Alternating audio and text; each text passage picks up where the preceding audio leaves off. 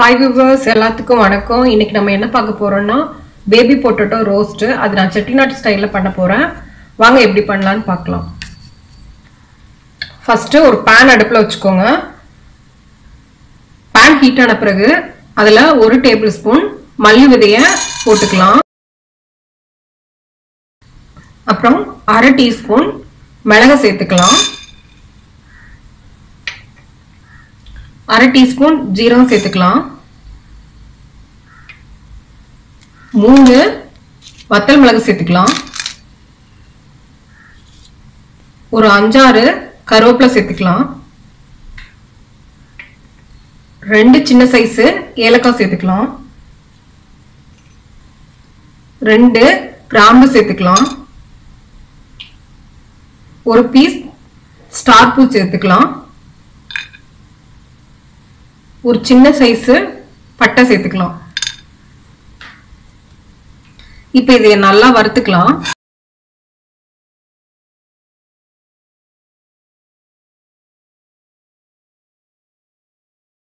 நீங்க பேபி பொட்டேட்டோவை வேற எப்படி இல்லாமல் செஞ்சு பார்த்துருப்பீங்க. இந்த மாதிரி செஞ்சு பாருங்க டேஸ்டா இருக்கும்.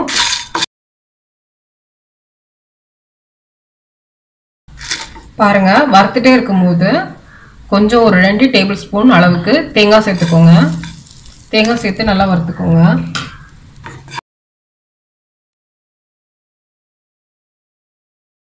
இதில் நீங்கள் எண்ணெய் ஊற்றாம தான் வறுக்கணும்.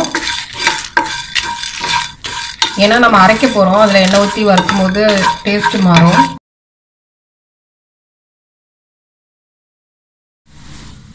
பாருங்க வறுத்தாச்சு. கலர் மாறிடுச்சு. போதும். இப்போ இது ஆறின பிறகு மிக்சியில் நான் அரைச்சி எடுத்துட்டு நான் உங்களுக்கு காட்டுறேன். பாருங்க மிக்சியில் நல்லா பொடி பண்ணி எடுத்தாச்சு. இப்போ நம்ம செய்ய ஆரம்பிச்சிடலாம்.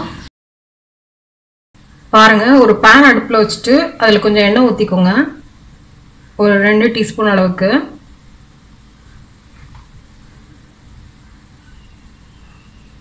எண்ணெய் ஹீட் ஆகட்டும். பாருங்க எண்ணெய் சூடாயிடுச்சு. ஒரு அரை டீஸ்பூன் கடுகு போட்டுக்கலாம். கடுகு பொரியட்டும்.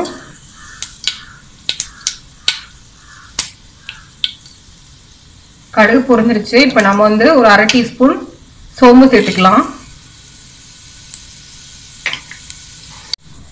இதில் ஒரு ரெண்டு பச்சை மிளகாவை சின்ன சின்னதாக கட் பண்ணி வச்சுருக்கேன். அதையும் சேர்த்துக்கலாம். அப்புறம் ஒரு டீஸ்பூன் இஞ்சி பூண்டு பேஸ்ட்டு சேர்த்துக்கலாம்.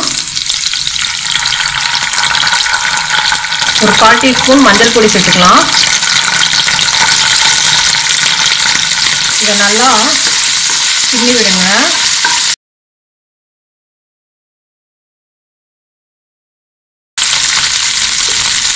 இப்போ நான் வந்து பேபி பொட்டோட்டோஸை நல்லா வந்து வேக வச்சு அதோட தோல் எடுத்து க்ளீன் பண்ணி வச்சுருக்கேன். இப்போ இதை வந்து இதில் சேர்த்துக்கலாம். நீங்களும் க்ளீன் பண்ணி வச்சுக்கிட்டு செய்ய ஆரம்பிங்க.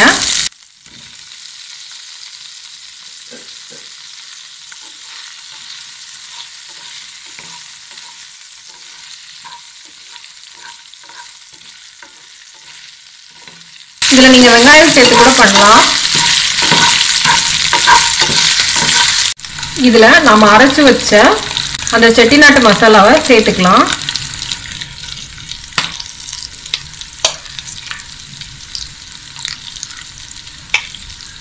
சேர்த்துட்டு நல்லா கிளறி விடுங்க.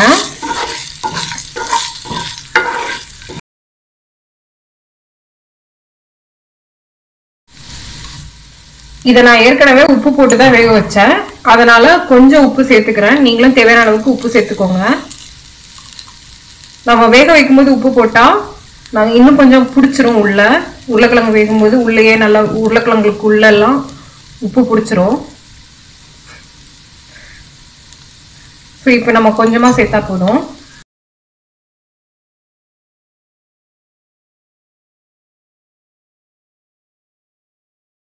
இப்போ இந்த மசாலாலாம் வேகிறதுக்காக நான் கொஞ்சம் தண்ணி ஊற்றிக்கிறேன்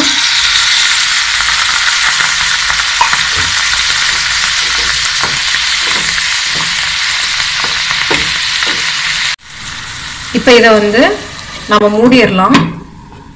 வேகட்டும். பாருங்க ஓப்பன் பண்ணி பார்க்கலாம். பாருங்க நல்லா ட்ரை ஆயிடுச்சு. ஒரு ரெண்டு நிமிஷம் நல்லா வதக்கலாம்.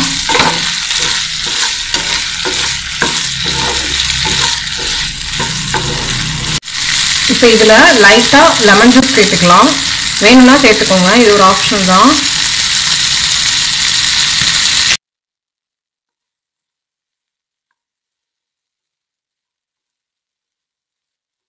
பாருங்க நல்லா ரெடி ஆயிடுச்சு இப்போ நம்ம ஸ்டவ் ஆஃப் பண்ணிட்டு கொஞ்சம் மல்லி இலை தூவிக்கலாம். பாருங்க செட்டிநாட்டு பேபி பொட்டேட்டோ ரோஸ்ட் சூப்பராக ரெடி ஆயிடுச்சு நீங்களும் வீட்டில் ட்ரை பண்ணி பாருங்கள் ட்ரை பண்ணி பார்த்துட்டு உங்கள் கமெண்ட்ஸை என் கூட ஷேர் பண்ணிக்கோங்க. அதுக்கு முன்னாடி என் சேனலை சப்ஸ்கிரைப் பண்ணுங்க. பக்கத்தில் இருக்கக்கூடிய பெல் பட்டனை ஒரு அடி அடிச்சிருங்க. நன்றி.